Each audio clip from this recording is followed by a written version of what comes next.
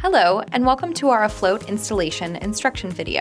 In this video, we will review our step-by-step instructions for how to install your Afloat waterbed. Take out the care kit box and open it. Here you should have your 25-foot hose, waterbed conditioner, air extractor, carrying sling, fill and drain kit, which includes your fill meter, bolt kit, which includes your alignment pins, bolts, and Allen wrench, to start, assemble your foundation, either the traditional foundation with the metal bed frame or the Space Saver platform. For a king mattress, lay out the wood base in a proper location on the foundation, paying attention to the arrows and making sure that they are facing each other at the center. For a queen mattress, there will be one wood base labeled with head and foot. Place the heating panel in its designated position. For a standard king, place a single pad on either side as it will still evenly distribute the heat.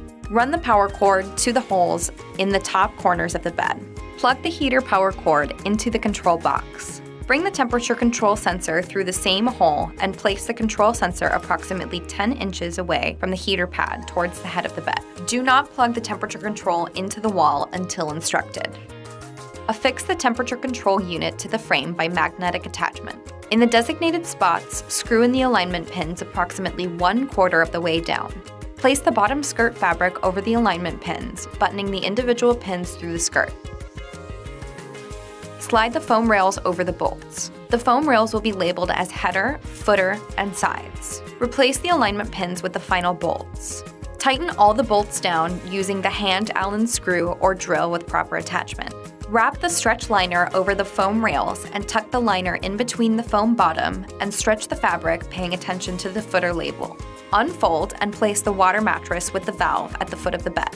For a dual mattress, place the divider in the center of the two mattresses, tucking the flaps below the empty waterbed mattress. Attach the hose to the water shutoff valve, then attach the fill meter and valve adapter. The fill meter will help you make sure to put the right amount of water into the mattress. Open the mattress valve and immediately tighten the hose adapter over the mattress valve by turning the adapter. Do not leave the valve open too long as this lets air in. Attach the other end of the hose into a water source, open the shutoff valve, and begin the filling. It is important to note that using lukewarm water instead of cold water will drastically reduce the time needed for your temperature control system to reach your desired setting. When the mattress has filled halfway, for a queen, that would be 55 gallons, for a dual king cell, 35 gallons, and for a standard king, 70 gallons.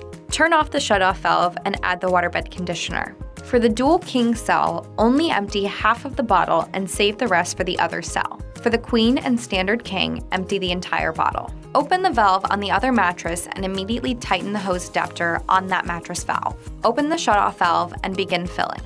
When filling, approximately halfway, turn off the hose and add the waterbed conditioner again. This balances the fill on both sides.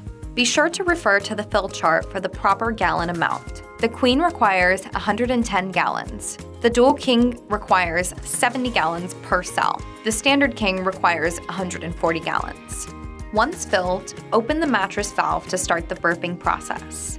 Using your forearm, apply a light pressure to the mattress from the head and sweep the air to the valve at the foot of the bed. This pushes the air out of the valve. After hand and arm burping, use the provided air extractor tool to remove the rest of the air in the mattress. If you see any other visible bubbles, continue the burping process until the mattress is air-free and then seal the valve, screwing the safety cap on and press the cap into the mattress.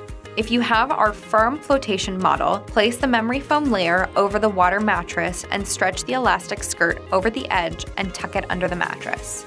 If you don't have our firm model, stretch the bottom portion of the cover up the mattress, making sure to leave the zipper exposed. Zip the top section of the cover on the mattress starting at the zipper at the foot of the bed. Work your way around the mattress to the end. Finally, plug the temperature control into the nearest outlet and set the initial temperature to 90 degrees, and you're ready to enjoy your afloat mattress. Once finished, reassemble the care kit and place it somewhere safe. Thank you, and we hope you enjoy your afloat waterbed for years and years to come.